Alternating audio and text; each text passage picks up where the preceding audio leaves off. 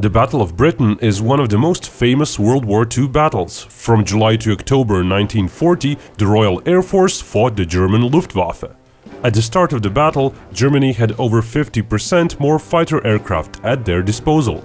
But as we know, the Luftwaffe ultimately lost, losing more planes, more pilots and getting outproduced by Britain. So in this video we will ask, could the result have been different if modern technology was in play? Say, 1940s Germany was given today's modern-day Luftwaffe instead. How would that influence the Battle of Britain?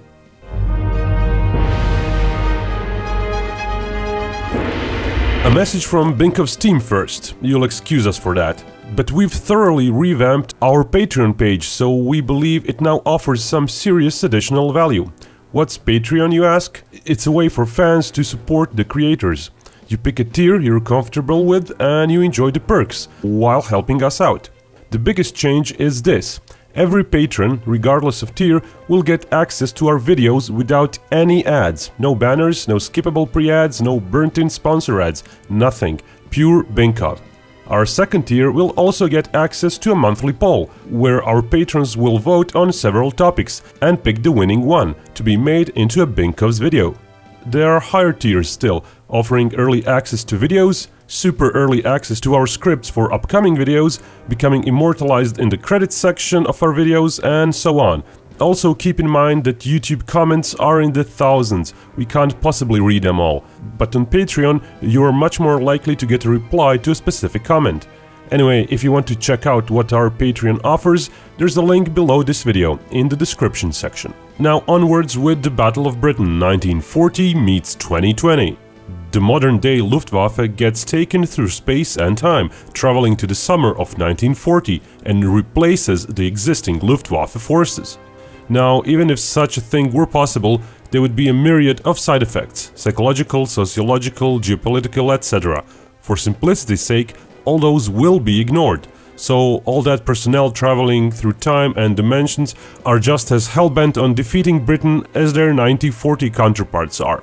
And existing German forces are unfazed by the event. So what would Germany be gaining and what would it be losing? Modern-day Air Force numbers are minuscule. Keep in mind, Britain was just one front in 1940. While other fronts weren't as active, there was still a large area that needed to have at least some air power present. Even though modern planes do have a greater reach than their World War II counterparts, numbers still matter. One can't be in two places at once.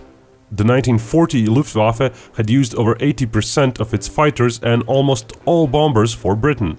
2020's forces could also not afford to leave Berlin and Poland without at least a few dozen interceptors.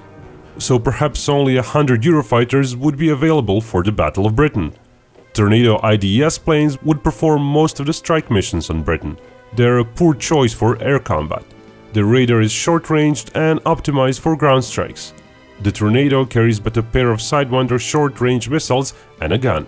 Also, no plane could be in the air all the time, even in war. While one could keep sending the plane back into battle as it lands and gets refueled, that would both increase the risks of catastrophic failures due to no maintenance and would not be good for efficiently planned bombing runs. Usually surge sortie rates of 3 to 4 flights are possible for a day or two, but over a longer period, those sortie rates inevitably fall. First to 2 flights per day for a few weeks, or if we're talking about a multi-month period, sortie rates will approach just one flight per plane per day. The Luftwaffe of 2020 also doesn't have that many pilots, less than two per plane seat, and pilots do need rest. They can't go performing a 3-hour mission, then head back for debrief and another briefing, and do that all over again two or three more times per day, each day so the modern Luftwaffe will be hard-pressed to actually strike the British targets in large numbers each day. But the British would have very little means of intercepting the Germans. Germany would send a strike or recon package of a dozen planes, for example. If they fly high up, at 40,000 feet or more, the British simply can't touch them. Anti-air artillery can't reach those altitudes effectively. In actual air combat, there would be no contest. Modern planes would track British fighters with radars from way out. The British would not even know they're tracked, and a missile would come out without a warning, blasting them out of the sky. Eurofighters and Tornadoes can easily cruise higher than Spitfires could ever reach, and do so at almost twice the speed. Spitfires would need ages to get high up, and they would still come up short. And today's AMRAAMs are sometimes tasked with intercepting long-flying cruise missiles, which are harder targets to spot than a Spitfire. Of course, missile stocks are finite. There are no hard numbers out there as to how many AMRAAMs Germany has bought over the decades, but it is likely there's up to a dozen AMRAAMs for each Eurofighter in stock, with a similar number of short-range missiles and perhaps a few less per plane for Tornadoes. So total stocks might range in the thousands, possibly close to 5000. Of course, even in the best conditions, missiles will sometimes miss. Sidewinders in the Falklands and AMRAAMs later on went against technologically far inferior opponents, yet they didn't yield perfect hit rates. Still, it's evident that the RAF would be bleeding profusely if it attempted to go in the air. Germany's hit rates would likely be even better than the historical examples shown. So it is entirely plausible that if there would be enough targets presented, the modern Luftwaffe could bring down over 2000 British aircraft in just a week. That's double the number of fighter planes Britain had at the start of the war. That likely wouldn't happen though.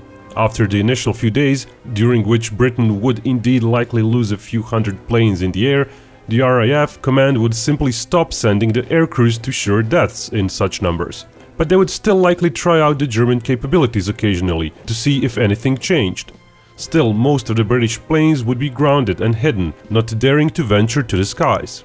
Such absolute air superiority might even persuade the modern Luftwaffe to use other planes in combat missions, like trainers. The German Air Force today does have a hundred or so trainer planes. Some of those could be repurposed into light attack planes. They could drop down bombs on certain not so protected targets. Especially the fast T-38 trainers could be hard to hit with anti-aircraft fire. Of course, they would first need to be modified to use bombs. It's also possible Germany would be using any aircraft it has at disposal, possibly even refitting transport planes to drop bombs, for example. But flying high up may not bring quick results to the Germans, and quick defeat is certainly something Germany wanted back then. Today, even from a high altitude, a plane equipped with guided bombs can do more damage than a whole group of high-flying World War II bombers. In one instance, US B-17s expended 300 bombs per one hit on a huge building. A single modern plane could be expected to get virtually all hits inside a large production hall so medium altitude bomb runs were also tried to get a more decent hit rate. And the famous Stuka dive bombers even achieved almost pinpoint precision levels. But such low-level bombing also ended up costing the Germans too much. A quarter of Germany's Stukas were destroyed or damaged over Britain, and the Germans eventually stopped using them. But there's issue with using guided bombs. Planes must be configured to use them. Currently only a part of the modern German fleet is able to use such weapons. The modern Luftwaffe uses three main types of smart bombs. Two of them have satellite guidance, but in 1940 there would be no GPS satellites, so laser guidance would be the only one available. And one needs laser designators for those bombs. Those come in the form of separate targeting pods, which aren't available for every plane. Germany purchased roughly two dozen pods. The problems don't stop there. Laser guidance requires fairly clear skies, if there is cloud cover, the plane needs to fly below it to successfully paint the target with a laser. Most clouds are to be found fairly low, up to several kilometers high, and Britain famously does have a lot of cloud cover. In July, the skies over London are mostly cloudy 43% of the time. In August, that goes up to 46%. September sees a rise to 50% and October is quite overcast with 57% of the time being mostly cloudy. So more often than not, laser guidance from high or medium altitude would not really work. Germany could thus bomb when the weather is fair and give the British respite between bomb runs. Or they could press on with low-flying raids and risk losses due to enemy AA fire and interception. So hitting the radar stations that the British used in the real timeline might be important for the modern Luftwaffe as well. Without them, the British would not get a warning and could not react in time, prepping both anti-air guns and interceptors. But even then, could a Spitfire or a Hurricane shoot down a fast and low-flying Tornado or Eurofighter? Very rarely. We're talking about planes cruising at over 650 miles per hour. Compare that with the speed of Ju-88 or Ju-87 bombers that the real timeline RAF had to deal with. In theory, those modern planes could even go supersonic at low altitudes, but it wouldn't be worth it due to much greater fuel consumption. The British might spot incoming Germans from a few miles away and start shooting, hoping for a lucky hit, but that wouldn't really happen as a rule because modern radars and German jets would spot those British groups on patrol and change course, actively avoiding them. Their speed edge would allow for such actions as the British could not hope to hit anything unless they're really close by, less than a mile away. Tornado planes, even though their radar is fairly poor, could still spot groups from decent distances, upward of a dozen miles away, and they could also be guided by Eurofighters when in mixed groups the Tornado could still fairly confidently launch Sidewinders from, say, 6 miles away and then simply disengage and change course. While the British could have their interceptors patrol over the target areas where bomb would need to land, that wouldn't solve the issue. Today's guided bombs can be lobbed from a low altitude into a parabola from several miles away, then guided by laser from a distance, as the planes are accelerating upwards and in all likelihood those British interceptors would be downed by Eurofighter escort jets. Anti-aircraft artillery might actually prove to be slightly more dangerous to the Germans than the interceptors. The Germans would face other issues. Not all planes in the fleet are serviceable at all times. In 2017, the readiness rate of the Eurofighter fleet was just 48%.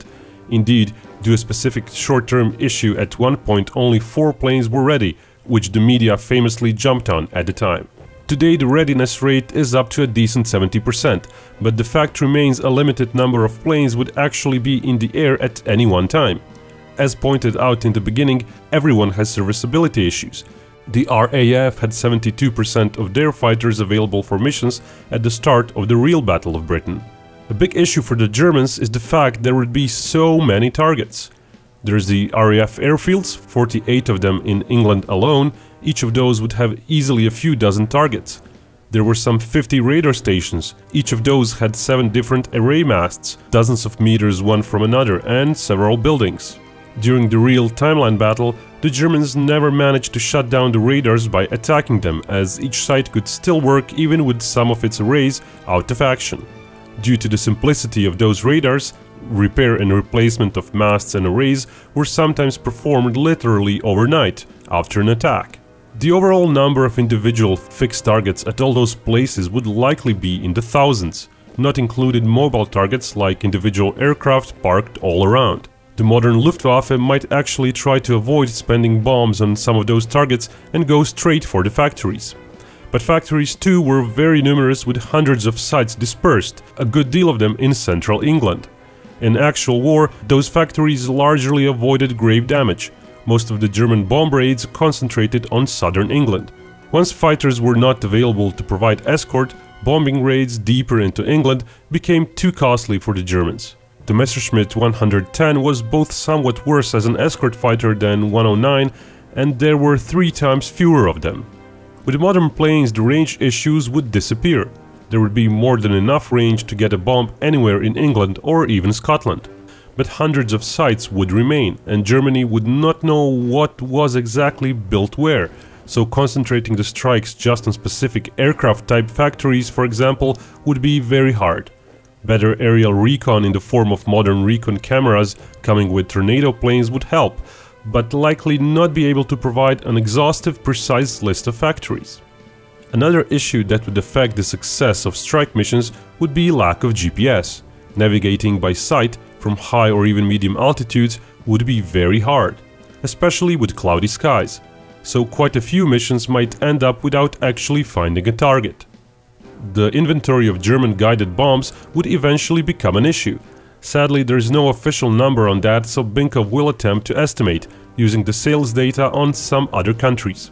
Due to greater involvement of Benelux countries in various NATO campaigns and Germany's foreign policy stance where they rarely participate in combat, it's entirely plausible Germany has no more guided bombs than, say, Belgium.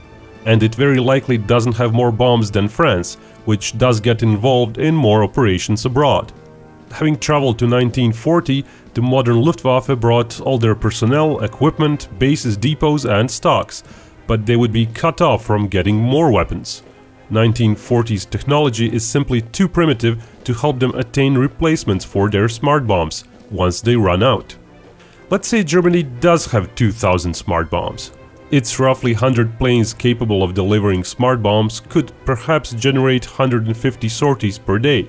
Germany could thus hope to neutralize 150 targets per day, and keep doing that for almost two weeks before the smart bombs run out. Why is the time frame important? Because stuff gets repaired. If not enough damage is done per period of time, the British may just keep repairing the damage. A factory hall can get hit for example, half a dozen planes can get destroyed inside it, various tools destroyed, dozens of people killed. But the nature of wartime production is to have fairly unskilled workers doing most jobs, so one could be able to replace them with new, inexperienced workers. When it comes to bombing the RAF bases, it would be even harder to make a lasting impact. Spitfires and Hurricanes could operate from grass runways, and even the asphalt runways better suited to bombers can always be repaired. Depots could be destroyed and with them many bombs, bullets or a lot of fuel, but more would still come in. So it's possible that in the short term the modern Luftwaffe could, with its precise bombs, do more damage to factories and RAF bases than the old Luftwaffe did in the first few weeks. But the British would keep rebuilding, just as Germany kept going on despite massive bombardment from 1943 onward. Without smart bombs, using simple gravity bombs would be too dangerous, and to achieve precision, planes would need to go low and slow, going straight over the target. They would get in range of anti-aircraft fire. The result would be a slow but steady attrition. And when you've got maybe 150 planes in the area, losing even just a few here and there might be very costly for the modern Luftwaffe. Indeed, even in peacetime it's expected that some planes will crash. And in wartime, stress levels would be higher, more flights would be performed and the chances for accidents would increase. Maintenance would be quite an issue for the modern Luftwaffe. No spare parts could be brought in from the future, aside from those already in depots. It's very likely that within months there would be issues with maintenance. Planes could likely fly for a year or longer, but subsystems would start breaking down. It's likely the modern Luftwaffe would lose less than the Gulf War coalition, but if low flying tactics persist and with maintenance issues going on through the following months, those loss rates would slowly creep up. Would fuel be an issue? Probably not. First off, jet engines aren't really picky on what kind of kerosene they run. Even World War II Germany should be able to produce some that would be passable to make the modern planes run, even if performance suffered. Engine accidents due to inferior fuel would not be uncommon though. And since the modern Luftwaffe did come with entire bases and depots, there would be a lot of fuel initially stored. Exact figures are hard to estimate though. There's a piece of info on UK's modern day base on Cyprus, storing 29 million litres of fuel. That's enough for 2300 Eurofighter flights. Overall, the modern Luftwaffe, even if it stores less fuel, would still have enough of its own fuel for a month and possibly a few months, before 1940 made kerosene starts arriving. One of the famous events helping the British in the Battle of Britain might not happen as the British would know how dangerous new Luftwaffe is. In the real war, a German bomber accidentally bombed London. The British retaliated, sending bombers over Berlin. And Germans got furious and stopped attacks on the British air bases, retaliating in turn over British cities. Going to Berlin against radar-equipped Eurofighters would be suicide. Eventually, what would decide the battle would be World War II technology. Initially, the British would be completely paralyzed. But then the smart bombs would run out. Dumb bombs would start getting used. Germany would start losing more and more planes in those bomb runs. And the production of World War II planes would come into play. The British were, in the real timeline, quite ahead there, and that gap only kept increasing during 1941. Indeed, from July to October 1940, they made nearly two times as many fighter planes as the Germans.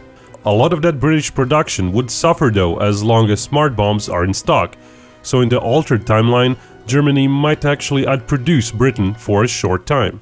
But rebuilding the German air forces from scratch would be immensely hard. Remember, all pilots and planes and infrastructure disappears, replaced by the modern Luftwaffe.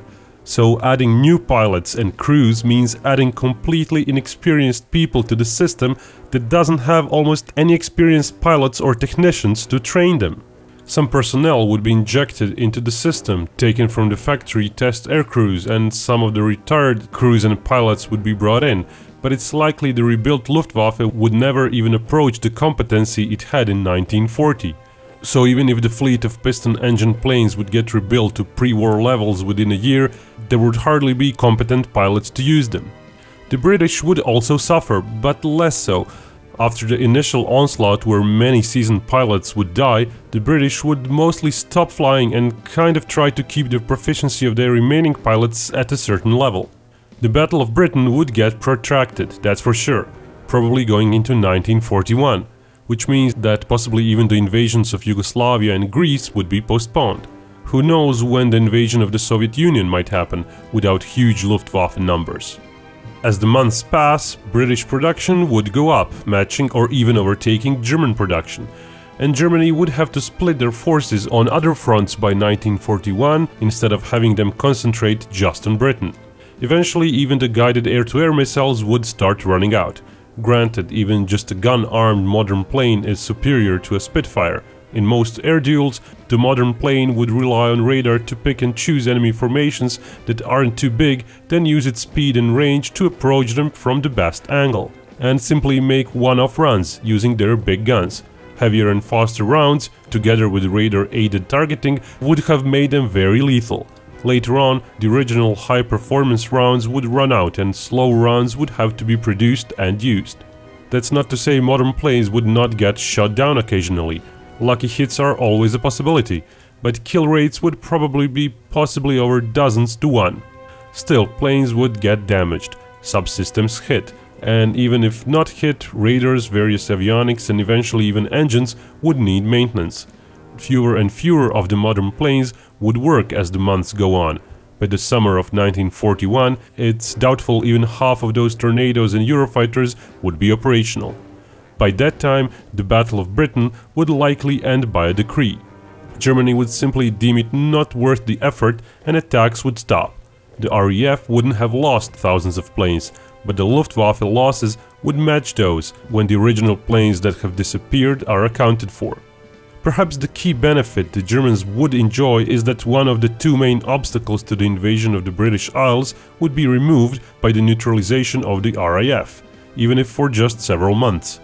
But would the Operation Sea Lion actually succeed?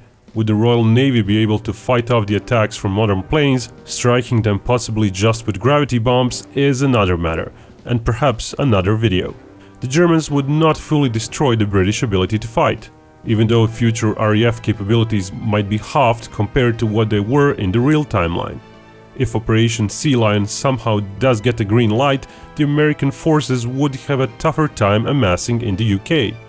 The technology edge would help the Germans and even heavily influence the air war in the Atlantic, helping German submarines and making the British economy suffer even more. But World War II would go on, and Germany would not be in a better position than it was. Thanks for watching. If you liked my video, subscribe to my channel.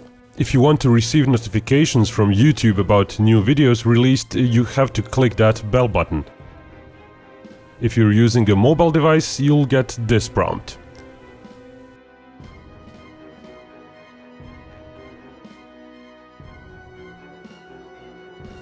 And remember, Binkov may talk about hypothetical wars, but only real peace can bring us all together.